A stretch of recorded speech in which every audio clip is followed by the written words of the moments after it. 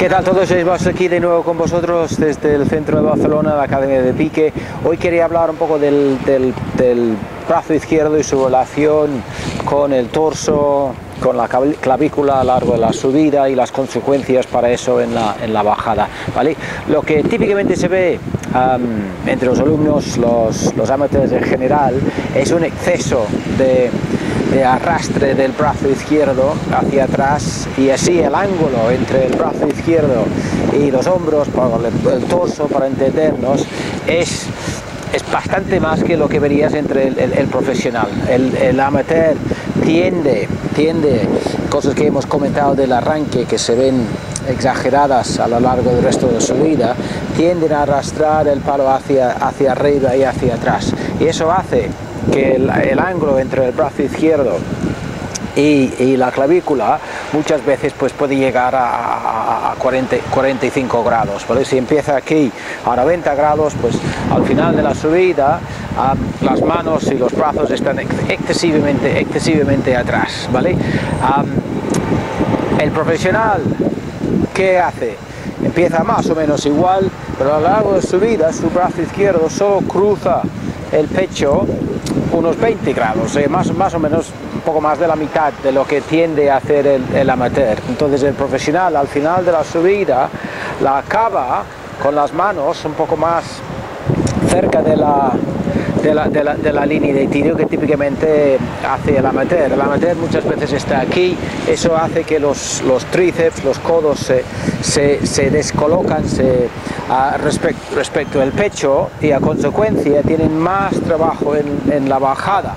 Y la, la, consecuencia de todo esto es que la bajada, el amateur nunca llega a colocar sus manos suficientemente delante del cuerpo en la bajada, siempre tienden a estar excesivamente a la derecha y demasiado atrás, con las consecuencias para la presentación del palo en el momento de impacto.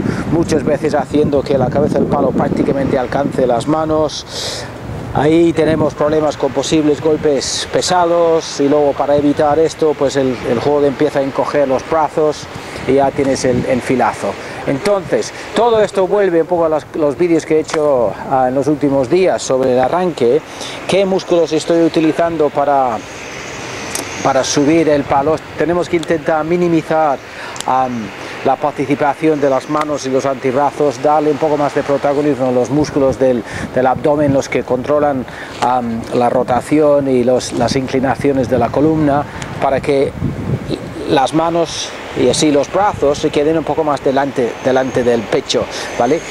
buen punto, un buen punto de referencia para la subida es cuando los brazos están paralelos al suelo, con qué parte del torso esté alineada la, mano, la mano izquierda. A mí me gusta la referencia del pectoral, pectoral derecho cuando los brazos están paralelos al, paralelos al suelo. ¿vale? Lo que veo muy a menudo con el, con el alumno, el amateur, es un exceso, un exceso de, de, profundidad, un exceso de arrastre hacia atrás y muchas veces la mano izquierda queda alineada con el bíceps o incluso detrás, detrás de todo el perfil de la columna. ¿vale? Entonces, recuerda, ¿Cómo soluciono ese, ese problema?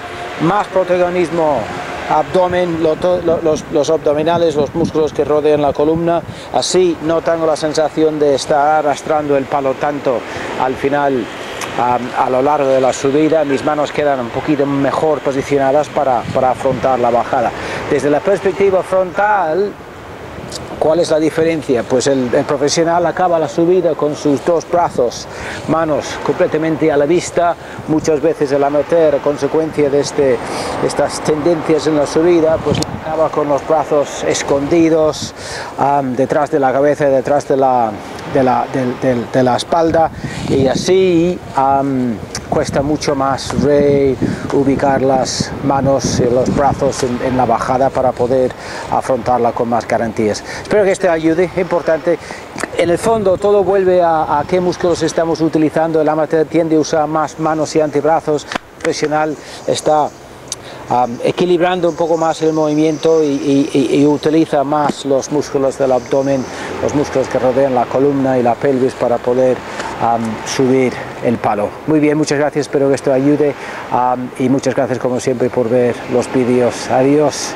Muchas gracias por haber visto el vídeo. Si te ha gustado, hazme un, un, clic en el botón de me gusta abajo y también en, el, en la campana de notificaciones, así recibirás un mensaje a cada vez que suba un vídeo al canal. Y si no lo has hecho todavía, por favor, suscríbete al canal y así también estarás al, al corriente de todos los vídeos que subo. Muy bien, muchas gracias.